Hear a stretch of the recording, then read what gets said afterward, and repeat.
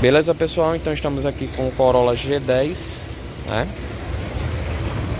E nós vamos instalar um módulo Tour para automação dos vidros e retrovisor, tá? Então os vidros desse carro já são inteligentes, né? É, mas esse módulo aqui vem para trazer aquela função bem legal de travar o carro né, e subir os vidros. O legal desse módulo é as outras duas funções que é travou o carro, ele vai fechar os retrovisores e colocou o carro na ré, ele vai inclinar aquele retrovisor ali, né, mais para baixo para você ver o chão, né, e evitar acidentes. Bom, então muito fácil instalar esse módulo. É, você vai precisar apenas, olha só, disso aqui para desmontar algumas peças. Vai precisar de fita isolante e uma tesoura, né, para fazer aí uma, um pequeno jump aí na ré, beleza? Então lá vamos nós. Aqui eu já tenho central multimídia também, né? Então, fio da ré eu vou tirar o que vem lá da câmera, beleza? Vamos lá, vou mostrar aqui para vocês é, os passos. Então, primeiro passo vocês vão tirar aqui essa peça. Essa peça ela, ela é toda encaixada, né? O próximo passo é tirar essa outra peça aqui, também toda encaixada. Depois vocês vão tirar essa peça aqui, toda encaixada. Então, só puxar, nada mais. Deixa eu ver aqui se eu consigo fazer com a mão. Qualquer coisa eu vou dando uns cortes no vídeo. Bom, com a mão fica ruim demais de fazer, então vou só mostrar aqui como é que eu fiz, né? Eu fui com essa espátulazinha aqui, tá? Fazendo aqui a retirada, tá? Então fui forçando, né? E ele saiu. Cada lado individualmente, certo? Bom, saiu aqui essa peça. Eu vou tirar ali aquele engasga gatozinho, né? Pra deixar essa peça para de lado por enquanto. E agora eu vou fazer esse mesmo procedimento aqui nessa peça, tá? Vou retirar ela do mesmo jeito. É, colocando aqui essa bichinha, né? Essa espátulazinha, né? Assim, assim, assim, né? Que é pra remover essa peça, tá? Então lá vamos nós. Pronto, como eu havia mencionado, aqui não tem um parafuso em nada, certo? Só encaixe, beleza? Ó. Isso aí, então agora eu vou tirar... É, esses conectores e vou deixar de lado essa peça por enquanto, tá? O conector que, o conector que a gente vai precisar aqui é esse aqui, ó, que vai para o comando do retrovisor, certo? Então ele já vai ser um dos que a gente vai precisar é, estar interceptando, beleza? Sim, já esquecendo de mostrar como é que tira os conectores, ó, aqui é bem simples, você só vai é, retrair essa presilhinha aqui, certo? E vai puxar o conector, tá? Ó, retrair aqui a presilhinha e puxo, tá? Ó, assim, certo? A mesma coisa no outro, ó. Retrair essa presilhinha aqui, ó, com a mão mesmo, ó. ó deu até para mostrar melhor. E puxar o conector, certo? Beleza, vamos lá. Pronto, pessoal, então essa parte aqui ficou assim, desmontada. Agora nós vamos precisar tirar essa peça aqui, que é para ter acesso ao conector da porta, certo? Ela também é só de encaixe, é só puxar que ela vem, tá? Bom, então olha só, tirar daqui a peça, só puxar como eu disse. Você começa a puxar daqui, vai levantando devagarzinho até conseguir tirar toda, né? Sentiu que não tem muita pressão, mas aí pode puxar com tudo que não vai quebrar, certo? Ó, tudo aqui, ok? Depois é só encaixar tudo de volta no lugar, uma coisa mais simples do mundo. Bom pessoal, então aqui vamos iniciar identificando os conectores que nós vamos usar. Então nós vamos precisar identificar o conector de porta e o conector do retrovisor. O retrovisor é o mais fácil que tem, né? Que é esse aqui que a gente já tirou. Agora nós vamos para cá ver qual é o conector de porta. O conector que a gente vai utilizar aqui é esse da porta, ó. Eu já soltei ele, tá? É esse aqui que vai para a porta. Tá vendo, ó? Tá aqui em cima, certo? Ó, ele é o de cima, ó. Tá? É cheio de conector, ó. Tá aqui. Ó, no pé do motorista, né? O conector de cima, tá? Aí como é que faz para tirar ele, ó?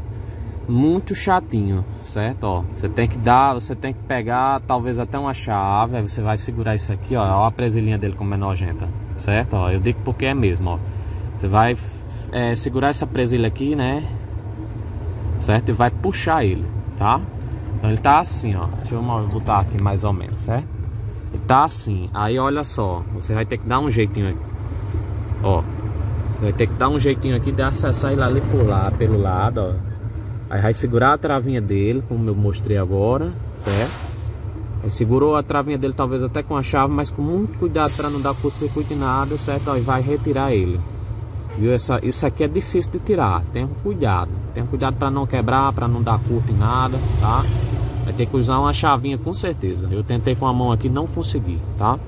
Então eu tive que botar uma chavinha aqui para poder, ó, fazer aqui a, a, a, pegada aqui desse item, tá? Ó, dessa travinha, certo? Ó, fazer assim nela, ó, certo?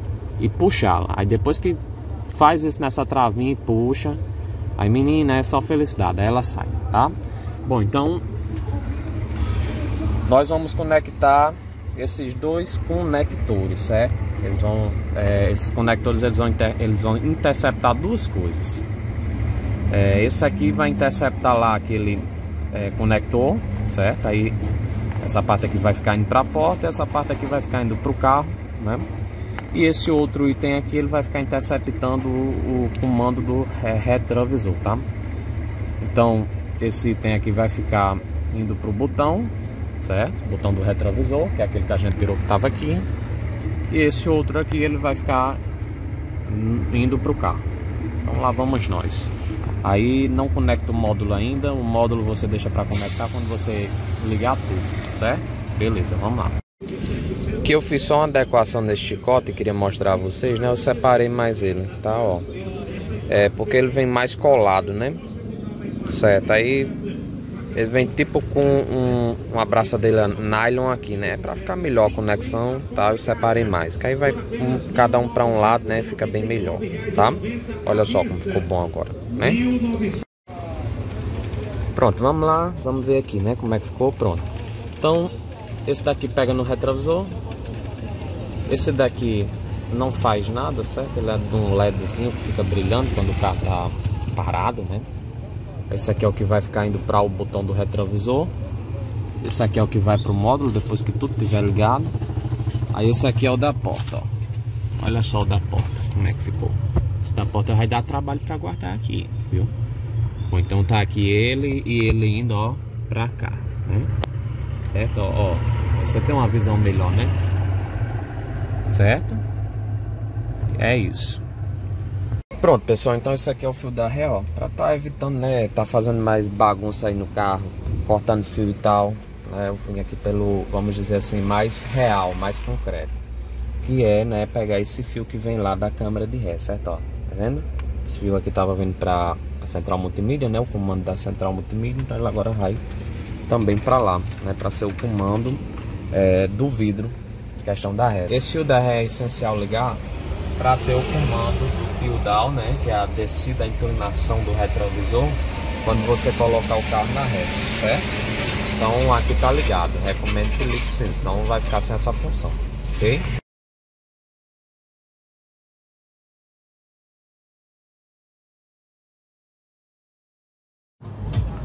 Aqui tá tudo ligado, olha só.